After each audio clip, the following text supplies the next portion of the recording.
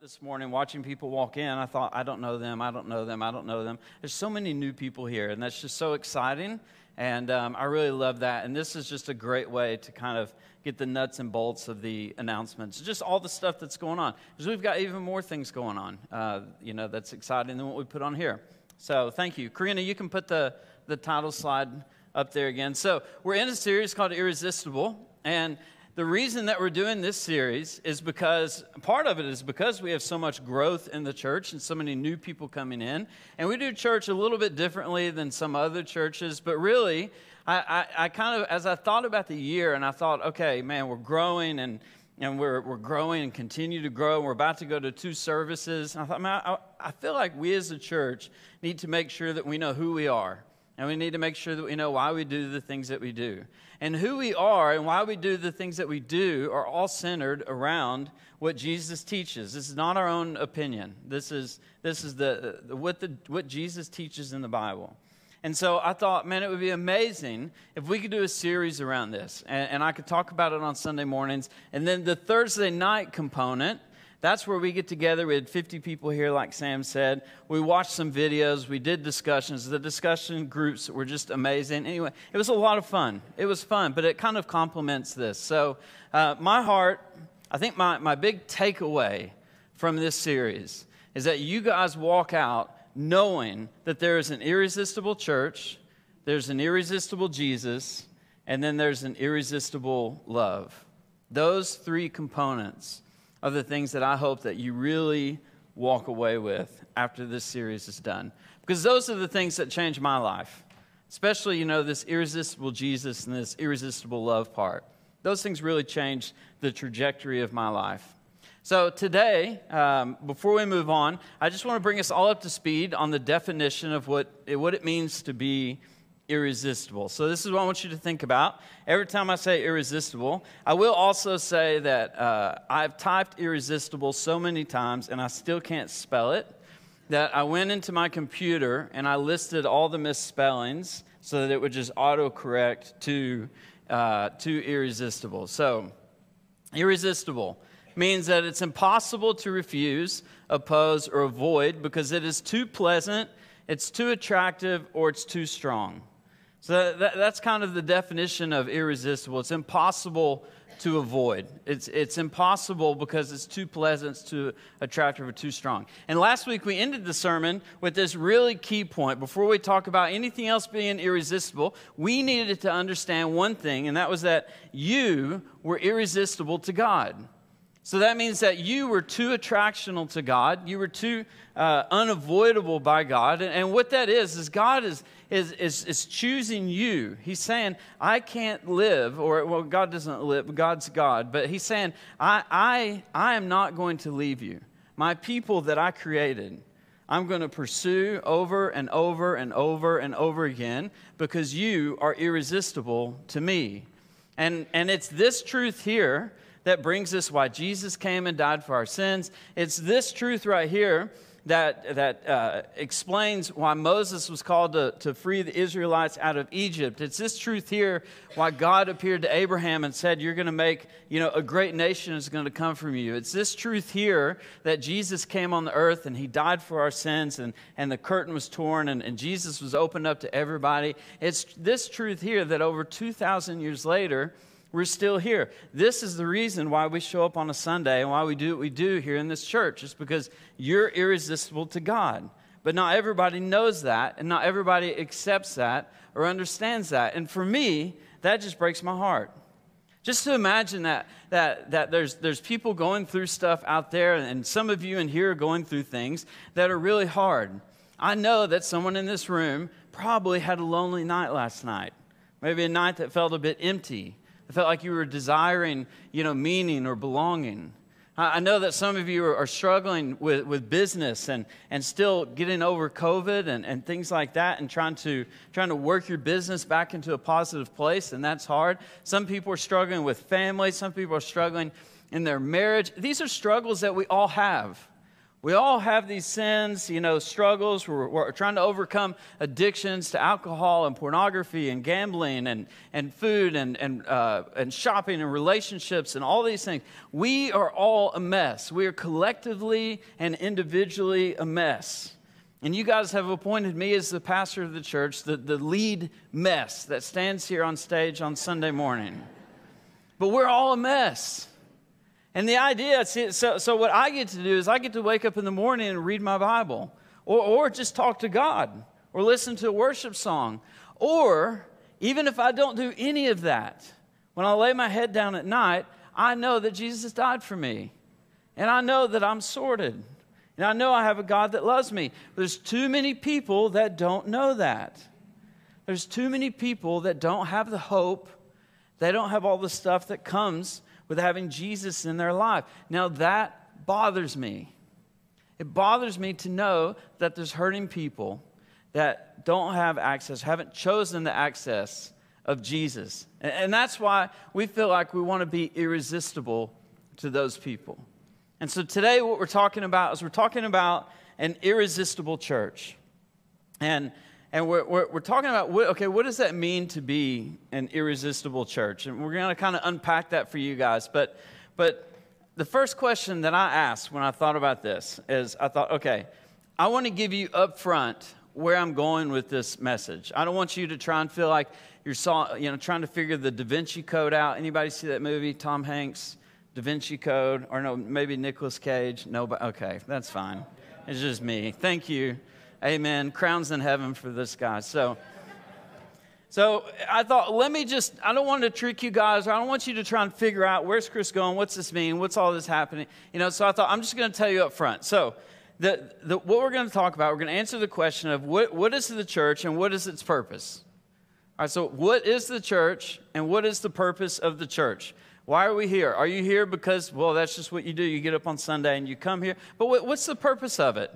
And then the second thing is, I want you to realize that no matter who you are, you can take that purpose that we figure out today out into the world and you can share that purpose with somebody.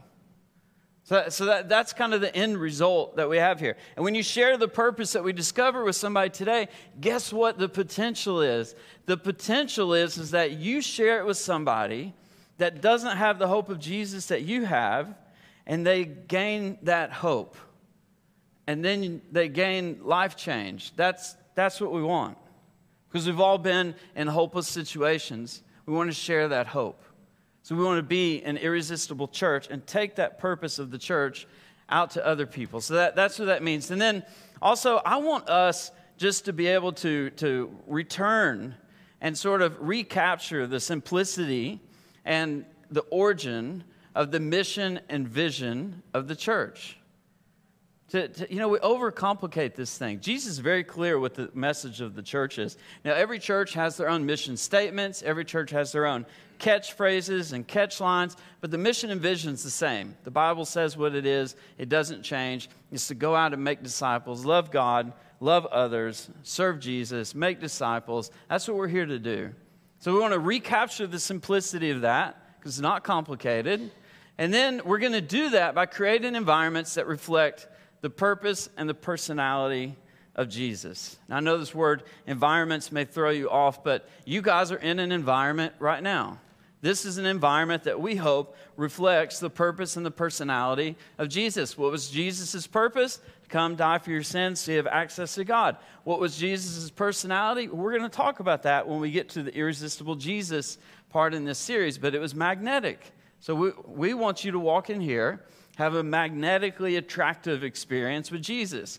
Same for your kids out there in family ministries. You know what? You riding in your car, that's also an environment. Somebody cuts you off before you give them a lewd hand signal.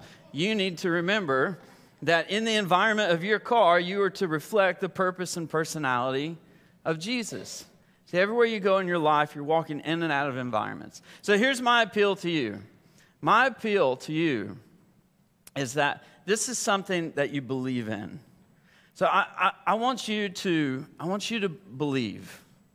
I want you to believe that the purpose of the church has the potential to change people's lives. that by what we do in here and the way we do it, to be irresistible to others, because we're irresistible to God, is there to change someone else's life or to change your life if you're here. Maybe this is your first Sunday here. I'd like to say welcome. You'll notice that, you know, maybe things are a little bit different around here. Everything we do, we do because we believe that Jesus is the only thing that can change lives. And so let's talk about exactly what the church is. So I've got a, a picture diagram for you guys. I like to use emojis. Um, the, the, I have actually have no idea how these two uh, emojis made it on there. I really don't. This is not what I typed up in my computer, or maybe I was tired and I did. I did do that. But here's the idea: we, we've got the building. All right. So is the church the building?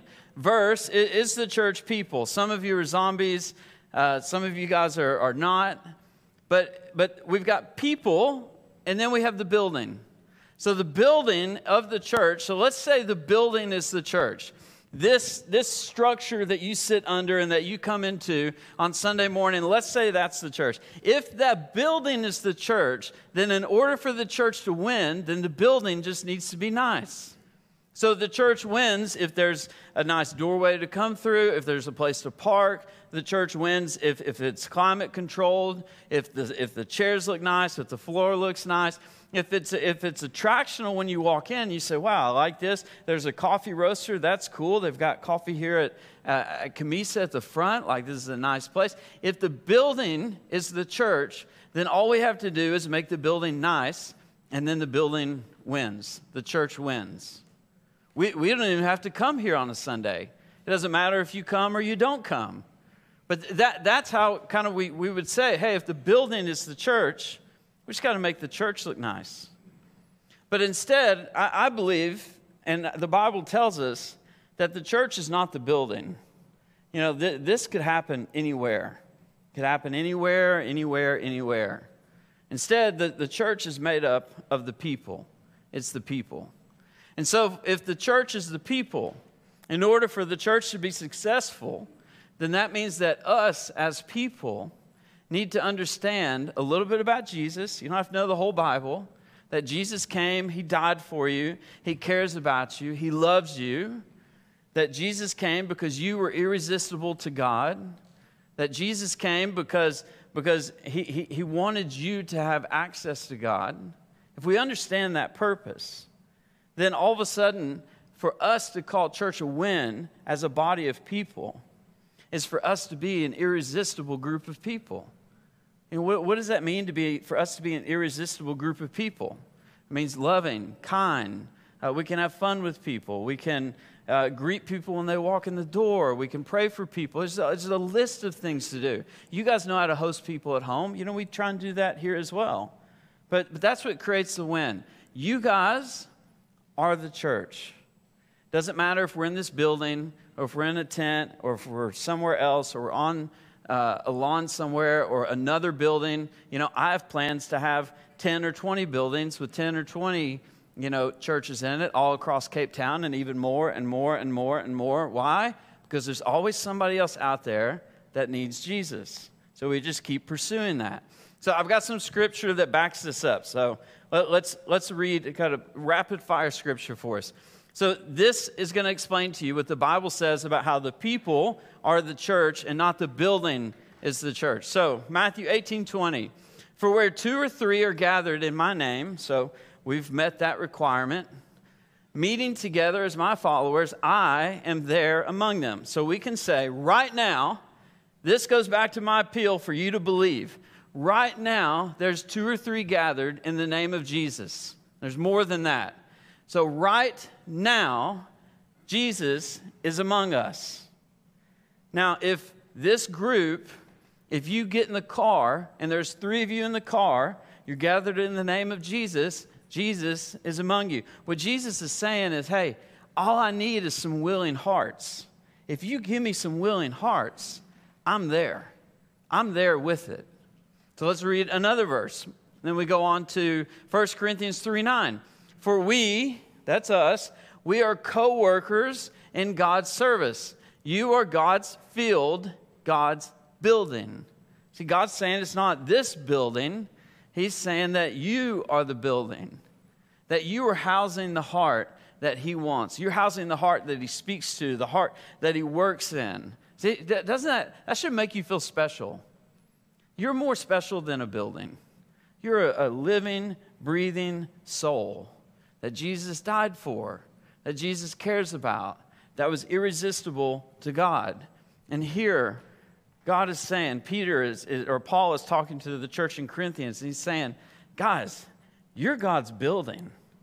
God has built you. He knew you before the beginning of time. He, he knows every hair that's on your head. He knows everything there is to know about you, the good and the bad. And He still chose to send His Son to die for you so that you can have a relationship with Him. Why? Because you're irresistible. So let's go on to uh, another verse here that I've got 1 Corinthians 3.16. Do you not know and understand that you, the church, so Paul's talking to people, the church, you are the temple of God and that the Spirit of God dwells permanently in you collectively and individually. So, again, it's another verse talking about how you are the church. Where is the irresistible church? It's you. So then we ask the question okay, if you are the church, if God is saying it's not the building and it's you, then what do we believe? who, who is the church actually for? Who, who, who is that for? Is it for the Christian, the non Christian, the insider, the outsider, the believer, the unbeliever? Is it for um, only one race and not another race and economic um, status or not? Like, who is the church for? Is it for people that keep ten, all the Ten Commandments? Is it for people that, uh, that live their life entirely by the rule? Is it for people that have sin, people that don't have sin? Who exactly is the church for? You know, we debate over that all the time. In fact, I know that people, even in this room, will say, you know, we should be more, you know, accepting of this or that. They come up with whatever, you know, whatever it is, they complain. But then as soon as something, you know, kind of rubs them the wrong way or, or, or pokes them where they're uncomfortable, all of a sudden it's like, well, wait a minute. That I'm not okay with. That, that we can't do. So, okay, so we need to clarify here who, who the church is for. Now, luckily, Paul has already gone ahead and he's done this. So there's Paul, who is one of my favorite people in the Bible. He likes to kind of stir the soup, or as, as we call it in my house, pee in the soup. And so Paul has gone out, and him and Barnabas have just kind of made a mess of the Jewish church. And the reason that they're sort of making a mess of this is, is they're going out and they're taking the church, which is in them, they're not building buildings, they're taking the church in them to a people called the Gentiles. The Gentiles were people that were not the Jewish people. The Jewish people were the ones that put Jesus on the cross. Jesus was a Jewish person, but they're the Israelites that came from, uh, from Egypt and they, they came in. That, that's the Jewish people. And then everybody else is a Gentile, a sinner, or someone that can't have access to God. So those are your two people groups.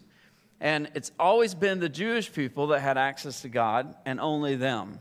Now, Paul is doing this crazy thing where he's saying, him and Barnabas are saying, hey, actually, the Gentiles also have access to God. So they're a little bit concerned because they're saying, Paul, you are coming very close to crossing a line because you're changing the culture of what we call the church, the temple, the synagogue. That, that, that's really what's rubbing them the wrong way. Paul, you're changing our culture. These people weren't Jewish. They didn't grow up Jewish. They don't know the law. You're just telling them about Jesus and they just say yes and then it's done. That's not fair. That's not right. That's not our culture. So they're having a bit of a, a debate here. But we'll, we'll start in verse 1. This is Acts 15. So some men came down from Judea and began teaching they began teaching the brothers. So, what this is, is some other people, not Paul, not Barnabas, but other people have come down from Judea to this place and they start teaching the congregation. So, like teaching you guys something that maybe is not exactly true that Paul and Barnabas don't agree with. So, that, that's the, the setup of the story. And what they're saying is, is unless you are circumcised in accordance with the custom of Moses, you cannot be saved. You know, I, have got a diagram of a circumcision. No, I'm kidding. Wouldn't that be funny? Yeah. I'm just asking you guys to sign up for a WhatsApp number. Paul, you know, this guy is saying, hey, you got to be circumcised here. So th- they're teaching people, like, hey, according to the custom of Moses, if you want to be saved, if you want to be a part of this, that you have to be a circumcised male. And, that, that's the way, that was their symbol. That was how they showed that they were a part of this, this uh, they were a part of the, the, the Jewish culture. And so they say you can't be saved unless you're circumcised. But Paul and Barnabas, they disagreed greatly and they debated with them. I wonder what it sounded like for Paul to disagree greatly. I, I, just think that that would be to be a fly on the wall and sit in on him arguing or yelling or proving his point. I, you know, I don't know, but, but they debated with them. So there was a back and forth exchange here. Paul's saying, You're wrong that's not the way it works. They're saying, yes, that's the way it works. So if we go on to the next verse here in verse 3. So it was determined that Paul and Barnabas and some of the others from their group would go up to Jerusalem to the apostles and to the elders to confer with them concerning this issue. So after being supplied and sent on their way by the church, they, they go on. So you can go on to the next verse. So they went through both Phoenicia and Samaria, telling the detail of the conversion of the Gentiles, and they brought great joy to the believers. See, here's what's amazing is they said, okay, we're debating and we can't quite come to a place where we agree or we understand. So I tell you what, Paul, Barnabas, we're going to send you guys back to Jerusalem, back to the main church. You're going to go to the mothership. And when you get there, you're going to talk to the apostles, you're going to talk to the council, and you're going to say, here's the issue we're debating, we're arguing about. Give us the final answer. And when you give us the final answer, that's the one that we're going to go with. So Paul and Barnabas, they start their journey, and along their way, they're just continuing to be the church. Like, hey, hey, God is in us. Where two or more gathered, Paul, there's one, Barnabas, one, two. Two are gathered, Jesus with them. And so they're telling everybody about what God is doing with the Gentiles. Hey, you thought only Jewish people could be saved. Turns out you don't have to do any body modification, and you can just give your life to Jesus, and the Gentiles are getting saved, and it's amazing. And so he's telling them about the conversion, and it's bringing great joy to all the believers. This is good stuff. People are realizing that, hey, this church thing is irresistible. It's great. So when they arrived in Jerusalem, they were received warmly by the church and the apostles and the elders. So that's okay. So they're coming in on good terms. So if we go on, and they reported to them all the things that God had accomplished through them. So they say, here's what God's doing out there, because you need to know what's happening. So then they come to a place, and it's Paul, it's Barnabas, and it's all the, the Pharisees, the Jewish leaders, and the apostles. Old Peter, he's there, one of Jesus' 12 apostles, he's there. And so they're sitting around, and but for some of the sect of Pharisees, remember the Pharisees were the ones that put Jesus on the cross. But there's a, a, a sect or a group of the Pharisees that kind of changed their mind and they said, okay, we do believe that Jesus was the, was the Savior. So that sect of Pharisees who believed in Jesus as the Messiah, they stood up and they said, because obviously they'd been circumcised, it's necessary to circumcise the Gentile converts and to direct them to observe the laws of Moses. So that's their case. You got to still, they're hung up on this law of Moses thing. Hey, our culture is Moses, the laws that God gave Moses, they got to stick to that. And so then the next verse that goes on, and the apostles and the elders, they came together and they considered this matter. After a long debate, Peter, now Peter, one of the 12 disciples, he is, is put in charge. He got the, when Peter and Paul kind of divided, Paul got all the Gentiles, and Peter was in charge of kind of the Jewish church. So, Peter, big man on campus, he's the big boss, the big boy here. So, Peter gets up and he says to them, Brothers, do you know that in the early days God made a choice among you that by my mouth the Gentiles would hear the message of the gospel and believe? So, what Peter's talking about is an experience that he had with Jesus 10 years earlier.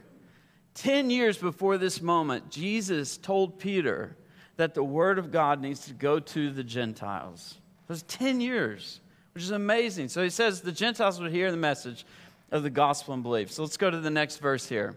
It says, And God, who knows and understands the heart, see, he knows what's happening here, doesn't matter what's happening anywhere else. he knows what's happening here, testified to them, giving them the Holy Spirit, just as he also did to us. So, what he means there is when Jesus ascended to heaven, he said, I'm going to give you the Holy Spirit. What's the Holy Spirit? It's God's helper. So, without going into too much detail on that, he's saying that, hey, when, when Jesus went to heaven, Jesus said, I'm going to give you something better than me. So, he gives them the Holy Spirit, the helper. So these people receive this thing called the Holy Spirit, which is the helper. It goes to God's throne room. It groans for you. It shapes you. That's that thing that tells you that what you're about to do is wrong. That's that thing that kind of guides you. And so Paul is saying, just like when Jesus ascended to heaven and we were all in the upper room and the Holy Spirit fell on us and we received the Holy Spirit of God, just like that, that same Holy Spirit, it goes to the Gentiles because he made no distinction between us and them. There's no distinction between the Jewish and the Gentiles. So, cleansing their hearts by faith in Jesus. So, now if we go on in, in Acts here in verse 10, now then, why are you testifying? God by placing a yoke on the neck of the disciples, which neither our fathers nor we have been able to endure. And what's neat about this is Peter is saying, You're asking them to follow the customs and the culture of Moses, which none of us could do. Because if we could do that, there would have been no need for Jesus to come. So you're asking them to carry a burden and a load that we, we don't even carry as Jewish people? And so then he, he goes on here in verse 11 and he says, But we believe that we are saved through the precious, undeserved grace. Remember that word grace of the Lord Jesus, which makes us free of the, of the guilt and sin, grants us eternal life in just the same way as they are. So again, Peter is saying, we all get the same grace. We're all saved by grace, us and them, all of us, saved by grace. And so then in, in verse 12 here, all the people remained silent. Some of them were probably mad, some of them were probably happy. And they listened attentively to Barnabas and Paul as they described all the signs and wonders. So they're attesting to the miracles. So now they're saying, look, okay, because of that truth that Peter just told you, look at what's been happening out there. Are we happy about that? Shouldn't we be happy about that? You know, when this church goes to two services, three services, plants another building, buys another building, starts another campus, are we going to be mad? No, we're going to be super happy. Because a bunch of non Christians or people that, that don't go to church are going to have a church that they can go to. So they're happy about this. And so God's working amongst the Gentiles. And when they finished speaking, James replied, Brothers, listen to me. Now, James is the, is the, the brother of Jesus here, one of the 12. And he says in, in verse 14, he says that Simon Peter has described how God first concerned himself about taking from among the Gentiles a people for his name to honor him and be identified with him. So he's saying, hey, in the beginning, God scooped up a bunch of people and said, You are going to be the Israelites, the Jewish people. So everyone was a Gentile. God said, I'm portioning Abraham's descendants to the side. They are now the Jewish people. But in verse 15, he says, The words of the prophet agree with this, just as it is written in Scripture. So, you know, James is saying, hey, Jesus, what Jesus, Jesus was a Jew. He came and he fulfilled the Bible. And so everything that he did, everything that's happening now, what Jesus told Peter 10 years ago, all that still counts. All that is still good. And so now what I want to do is like interrupt the story a little bit and take you to 1 Corinthians. And this is a letter that Paul has written to the church in 1 Corinthians. For by one Holy Spirit we were all baptized to one body, spiritually transformed united together, whether Jews or Greeks, Gentiles, slaves or free, and we were all made to drink of one Holy Spirit, since the same Holy Spirit fills each of us. And then James gives us one of the greatest uh, verses in the Bible that I, I, believe it's one of the greatest verses for us as the church. And he says in Acts, James finishes off his, his speech. He basically says, okay, this is the end of it here. Therefore, it is my judgment that we do not trouble and make it difficult for those who are turning to God among the Gentiles by putting obstacles in their way.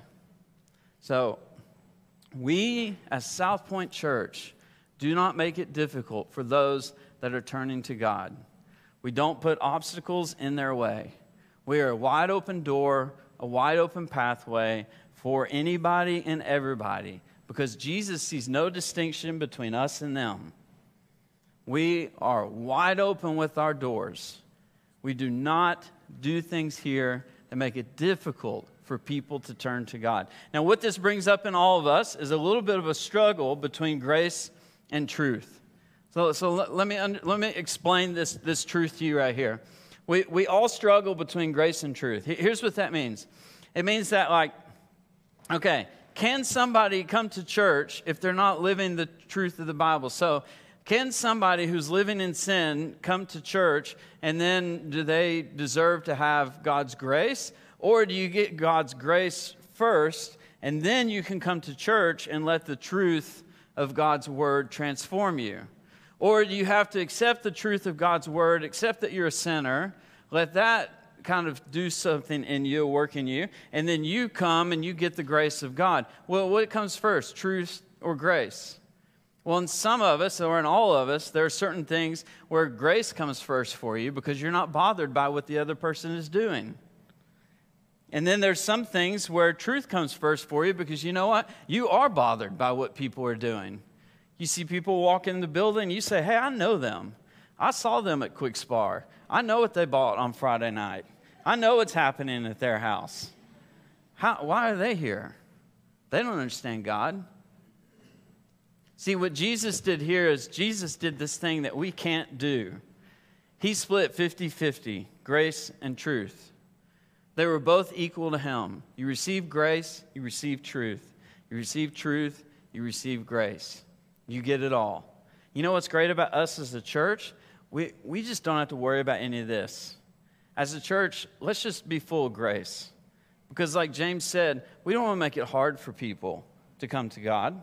We don't make it put obstacles in people's way to come here to this church.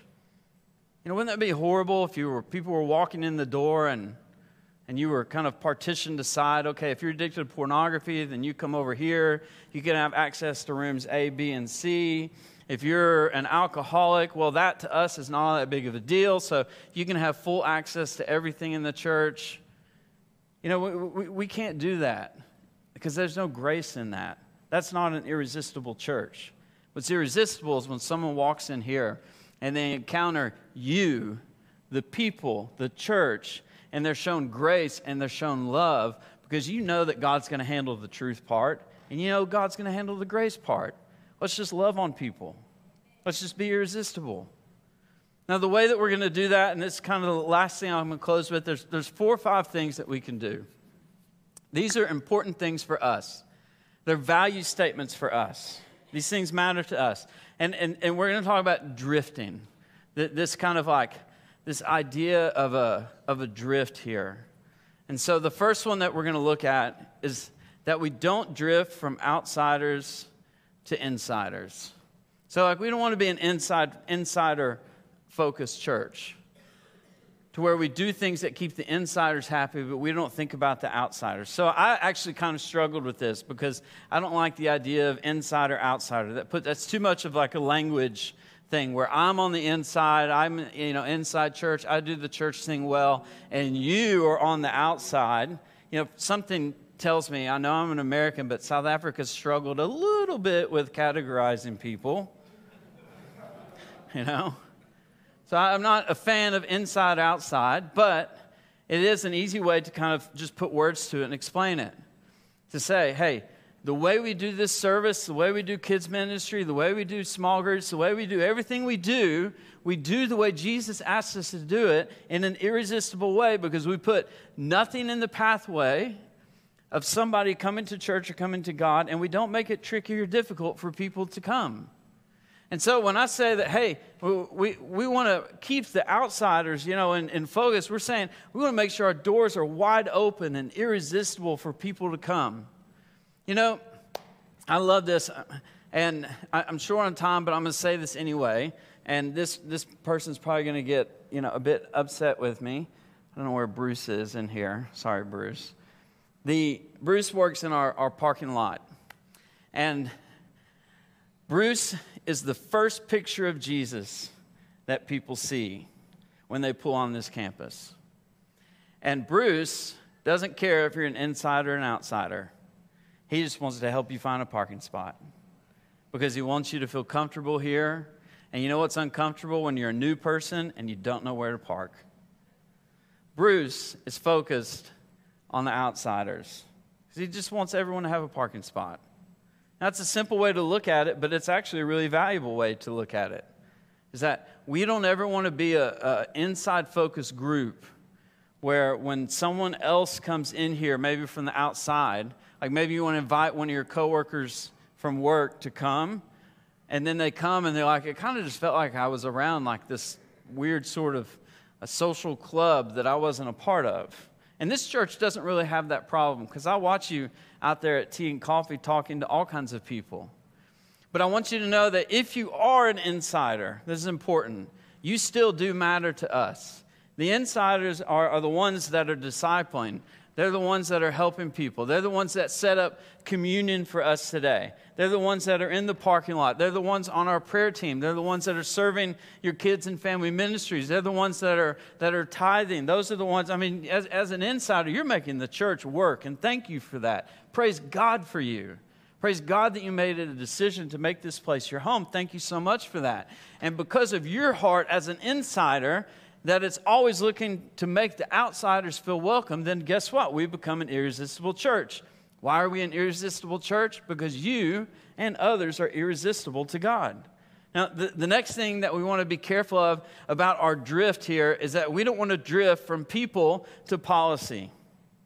So we, we always want to see the person before we see the policy. So one of the things that we did here, here's an example of that is, is in, in our, our service here, we used to say, hey, we don't want to offend people that are coming to church. We don't want to be offensive. Maybe somebody's coming for the first time, and we don't want them to be offended by the stuff that, that we're doing. So let's make sure that we're a non offensive space. And that really became a policy. That meant you said this, and that meant you did this, and you kind of ticked, ticked the boxes. Well, what we did is we changed it. And we, we still kind of keep to the same principles, but we changed it and we said, you know what, people, let's instead put a value system in place. So, you know what our value system is in this environment right here? It's safety. So, we went back to people.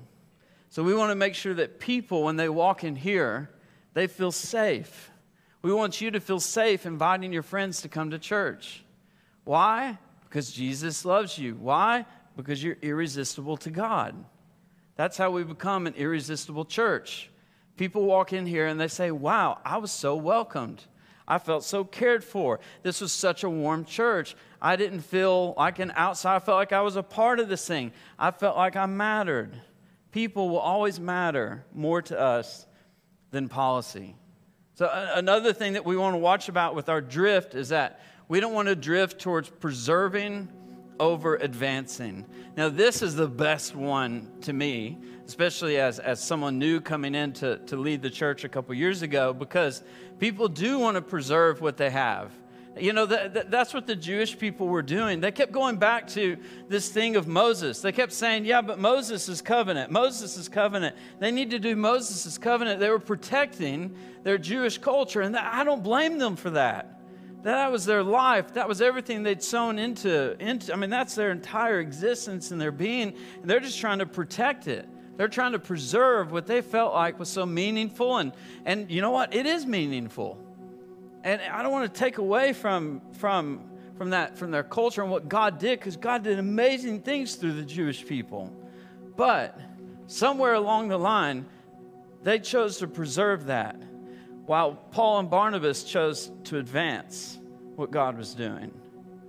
So as we grow, as we become irresistible and new people come in, it's okay for us to advance.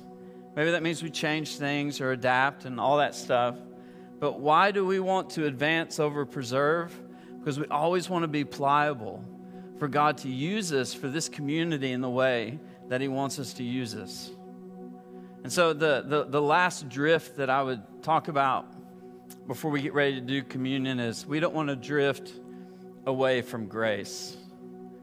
Guys, I, I'll never forget when grace touched me, what that felt like. Now, there was a season, I've told this story before, but there was a season in my life where I was really struggling with depression and I was um, really dealing with it in a hard way. And just to tell you the quick part of the story, I remember this is before I was at Southpoint, um, but I remember walking around Rondebosch Common and, and my wife and I were walking and we were talking about why am I still struggling with this? Why does it hurt so much? Why is God letting me go through so much pain? Why am I not cured? Why is this still a part of me? Why do I have so much anxiety? Why am I having panic attacks in my sleep? Why, why, like, what, what exactly is happening? And why doesn't God take it away? And I just felt like, you know what? It's easier to believe that there is no God than it is to believe that there is a God and He's letting me hurt this much. And, and, I remember just, I remember the tree that I was standing under at Rondebosch Common as we were walking around when I said that to Casey. And, and she didn't condemn me. She had grace for me. She just said, I know. I know it's hard. I know it's hard. But you know, when I look back on that moment, I, I never walked away from God and did, you know, anything that I regret from that. But I said those words. And when I look back on that moment, in my outwardly defiance of God, God just poured grace out for me. See, there were three people walking on that trail that day. There was Casey, there was me, and then there was a broken Jesus that hung on a cross for me, that hurt for me, that one of his children was hurting so badly. And that's when the Holy Spirit, my helper, goes to the throne room of God and literally groans on my behalf to God. And it was just a few days later after that, you know, thinking back on that situation, I remember being touched by God's grace. I've been touched by God's grace a thousand times in my life, and I hope it happens 10,000 times more. And I hope that it happens for you, that you're touched by God's grace. We don't ever want to drift away from grace. Every single Sunday, this is what I tell our team in the morning, our production team. Every single Sunday, people are going to walk through this door. And who's going to walk through the door today that needs to be touched by God's grace? Somebody here needs that touch. And every single week, we get the opportunity to give them that. That's just Sunday. The other six days a week, it's you guys, the church, that are, that are operating in a way that's allowing God's grace to touch people. Why? Because Jesus died for us. Why? Because we are irresistible to God. And together we make up this irresistible church. Now, this verse in Hebrews that I have, it sums this thing up really well. It puts it uh, in, in, in such a great kind of context. And it says, And let us consider thoughtfully how we may encourage one another to love and to do good deeds. This is for you. This is, t- take out Hebrews because that allows you to disconnect and say, well, that's just in the Bible. Okay, this is for you. I'm talking to you. God's talking to you. And let us consider, let us consider thoughtfully how we may encourage one another to love and to do good deeds, not forsaking our meeting together. That means we do need to get together and meet as believers for worship and instruction. We've done that this morning. And as in the habit of some, but encourage one another. We encourage each other, we come together. That, that's what we are as a church. Let us consider thoughtfully how we may encourage one another to love and to do good deeds. Now, I go back to the verse in Acts 15 that James closed with. Therefore, it is my judgment that we do not trouble and make it difficult for those who are turning to God among the Gentiles by putting obstacles in their way. So, my appeal to you is let's make this church irresistible. Let's make this place irresistible because it bothers me that there's people out there that don't know about the irresistible Jesus and the irresistible God that's in here. That's why we don't drift in those directions because we believe this is an irresistible space for people to come into because they were irresistible to God. You were irresistible to God.